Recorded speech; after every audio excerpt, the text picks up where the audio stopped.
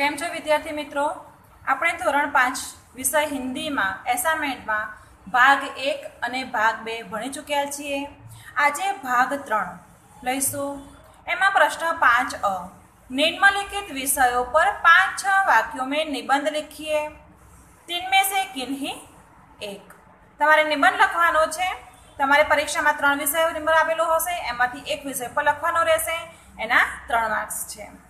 અહીં પહેલો છે સિપાહી. सिपाही बड़ा निडर और साहसी होता है देश के आज़ादी और देशवासियों की रक्षा करता है करना ही उसके जीवन का लक्ष्य है देश के लिए शहीद हो जाने में वह कभी नहीं झिझकता भारत का जवान हमेशा आगे बढ़ता रहता है। वह कभी किसी पर जुल्म नहीं करता। उसकी यह कोशिश रहती है कि तिरंगा झंडा हमेशा ऊँचा रहे। देश में सुख, शांति बनाए रखना सिपाही अपना कर्तव्य समझता है। सिपाही पति गयो હવે છે चिड़ियाघर की शेर चिड़ियाघर की शेर हमारे शहर का प्राणी संग्रहालय बहुत प्रसिद्ध है एक दिन मैं अपने मित्र पराग के साथ प्राणी संग्रहालय देखने गया प्राणी संग्रहालय में हमने एक हाथी देखा महावत के इशारे पर हाथी ने सूंड उठाकर हमको नमस्कार किया। उसके बाद हम जंगली प्राणियों का विभाग देखने गए।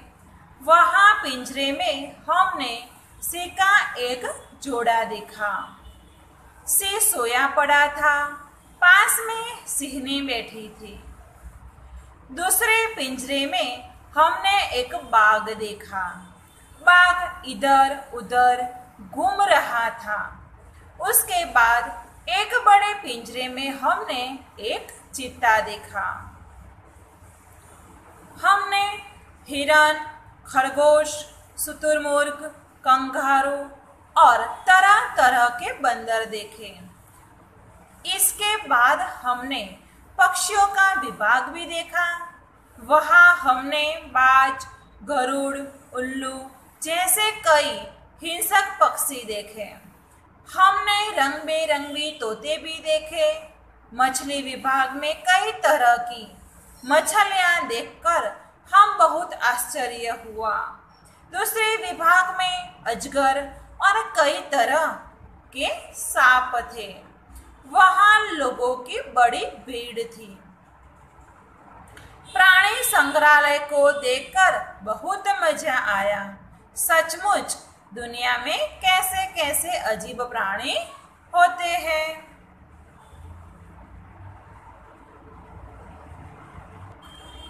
હવે ત્રણ નંબરનો નિબંધ છે પંદર અગસ્ટ स्वतंत्रता दिवस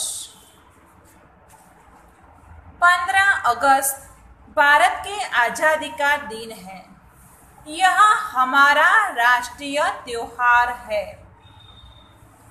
आज़ादी के पहले भारत पर अंग्रेज़ों का शासन था। देश के लोगों ने आज़ादी के लिए अनेक आंदोलन किए। कुर्बानियाँ दी। आखिर 15 अगस्त 1947 के दिन हमारा भारत आज़ाद हुआ। इस दिन में अपने देश में अपना शासन शुरू हुआ। इस दिन की खुशी में हर साल 15 अगस्त का त्योहार देश भर में बड़ी धूमधाम से मनाया जाता है। 15 अगस्त के दिन सार्वजनिक छुट्टी रहती है। इस दिन पाठशालाओं में कई कार्यक्रम रखे जाते हैं। सवेरे ध्वजवंदन और भाषण होते हैं। इस दिन सरकारी कार्यालयों और अन्य इमारतों पर राष्ट्रीय ध्वज फरकाए जाते हैं। शाम को विविध जगह सभाएँ होती है और नेताओं के भाषण होते हैं। कई जगह सांस्कृतिक और मनोरंजन कार्यक्रम होते हैं। इस दिन हमारे देश की राजधानी दिल्ली का रंग देखने लायक होता है। लाल किले पर प्रधानमंत्री तिरंगा झंडा फहराते हैं। वे अपने भाषण में देश की जनता को संदेश देते हैं। जय हिंद के नारों से मैदान गूंज उठता है। यह स्वतंत्रता दिवस हमें बहुत उत्साहपूर्वक मनाना चाहिए। चार नंबर निबंध है मेरा गाँव।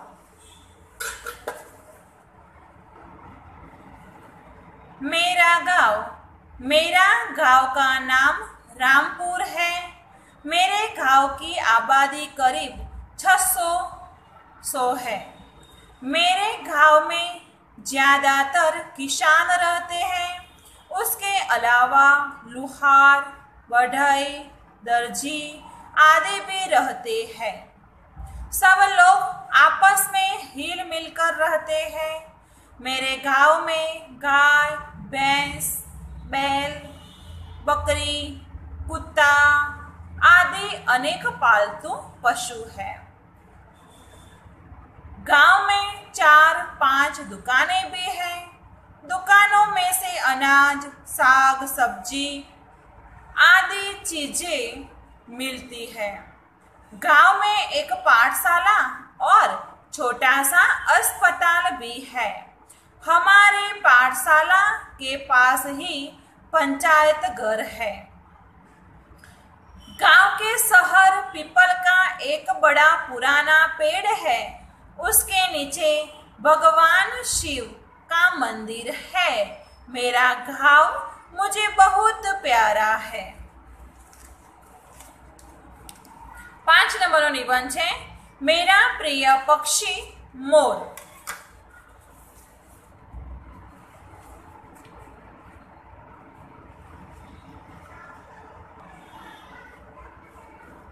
मोर सबसे सुंदर पक्षी है। उसके माथे पर कलगी होती है। उसके पंख लंबे और रंग बेरंगी होते हैं। उसकी आवाज़ मधुर होती है। वर्षा के दिनों में मोर म्याऊ माऊ करके बरसात को बुलाता है। आकाश में बादल देखकर वह पंख फैलाकर नाचने लगता है। मोर पेड़ पर रहता है, वह बाग और जंगल में पाया जाता है। यह अनाज और कीड़े मकोड़े खाता है। मोर सांप का दुश्मन है। मोर भारत का राष्ट्रीय पक्षी है। मोर मुझे बहुत प्रिय है। प्रश्न पांच ब निम्नलिखित रूपरेखा के आधार पर कहानी लिखकर उसे उचित शिक्षक दीजिए और सीख भी लिखिए એક કહાની તમારી પરીક્ષામાં કોઈ પણ એક કહાની પૂછાશે તે ત્રણ માર્ક્સની હશે અહીં આપણે કહાની નંબર બે જોઈશું બુઢા કિસાન એનું શીર્ષક છે એકતા ही शक्ति